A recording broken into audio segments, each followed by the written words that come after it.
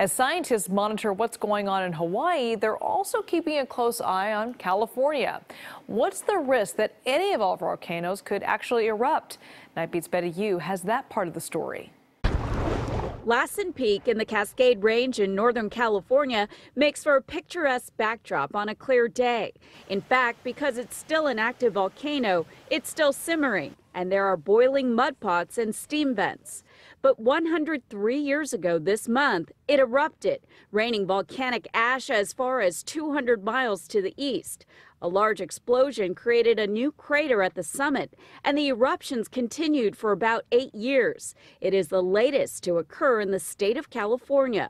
California is not just earthquake country, it's also volcano country. Dr. Margaret Mangan leads the USGS California Volcano Observatory, where 50 staff members, including geologists and engineers, research and monitor volcanic activity and forecast the next eruption.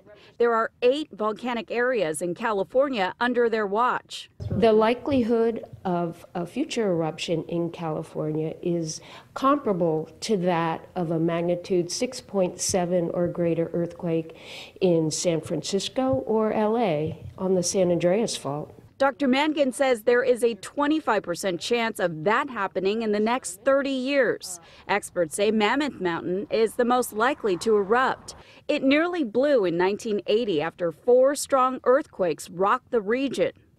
The USGS says that more than 50 volcanoes have erupted at least once across the United States in the last 200 years, and the most volcanically active regions include Hawaii and along the west coast, including California. Mount St. Helens in Washington state erupted and blew down or burned 230 square miles of forest. And more than 30 years later, the area is still recovering.